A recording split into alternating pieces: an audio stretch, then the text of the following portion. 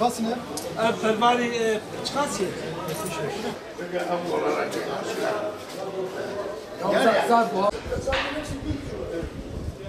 Hakiki midye pekmezidir. O fiyatı da uygundur. Bana da Kurdistan.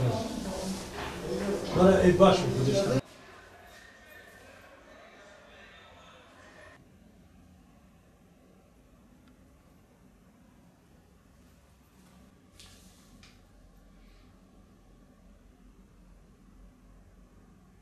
Mübarek e, Ramazan ayına sayılı günler kaldı. E, esnaflarımıza çağrımız, talebimiz, isteğimiz e, hiçbir ürüne, hiçbir esnafımız zam yapmasın. Mübarek Ramazan dolayısıyla nitekim daha önce fırıncı esnafımız ekmeğe zam yapmama kararı aldı.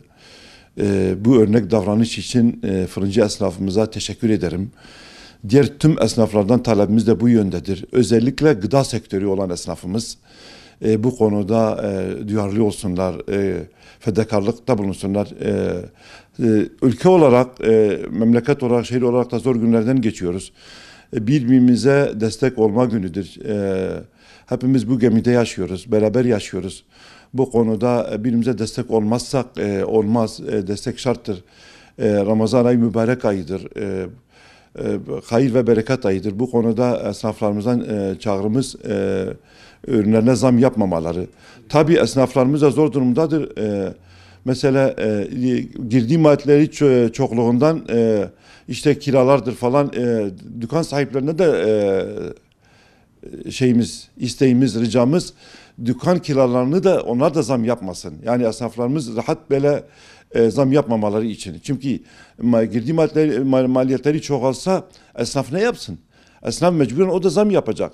E işte e, mülkiyet sahipleri, dükkan mülkiyet sahipleri de bu konuda onları zorlamasınlar.